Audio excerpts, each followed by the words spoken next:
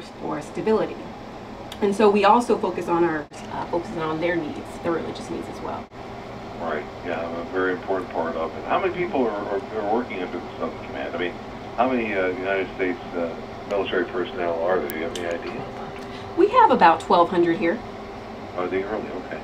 Uh, tell us about your background, uh, Master Sergeant, if you can. How did you decide to join the military? You know, where are you from? Tell us about your family, how often you get to Okay. Well, I uh, was in junior ROTC in high school, so that made me really want to join the Air Force. And I grew up in Tacoma, Washington, um, and then I enlisted around 2000, so I've been in about 14 years. I also got married in the Air Force to a wonderful guy named Jason Rizzatello.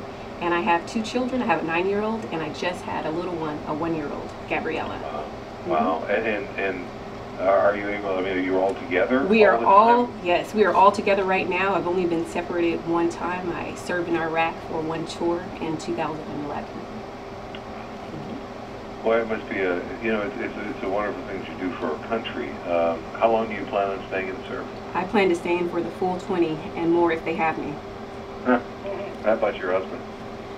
Um, he is a civilian right now, but he did serve. Um, we kind of switched roles. He is the stay-at-home parent, but he does work from home as well.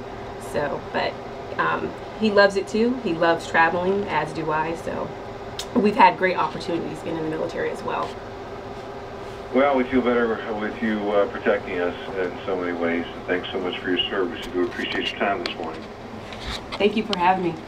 Of course, Master Sergeant Tabitha Harris uh, United States Southern Command. That's terrific.